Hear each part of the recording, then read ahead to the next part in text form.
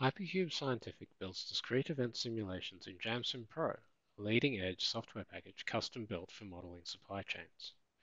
This is an integrated supply chain including ore processing, stockpiling at mines, transportation via rail, blending in port stockyards, loading to ships, and managing marine traffic. Randomness is incorporated through variable production rates, breakdowns, and delays from interactions with third parties. The mine views at bottom right show production from ore processing facilities being blended in a stockyard before loading to train.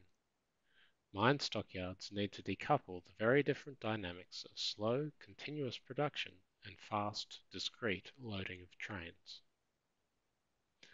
The rail transportation view at the top manages all the traffic on the rail network.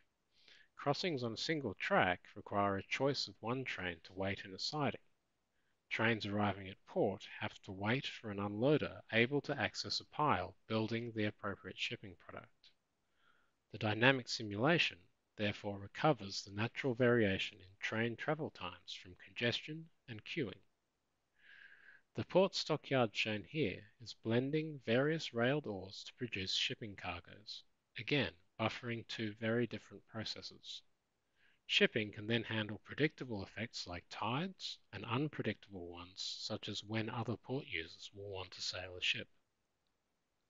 With appropriate logs, we can chart metrics of interest such as the level of a stockpile. Running the randomized model several times produces statistics of outputs to compare scenarios, such as a study of how often each process becomes the bottleneck and a quantification of the value of possible solutions.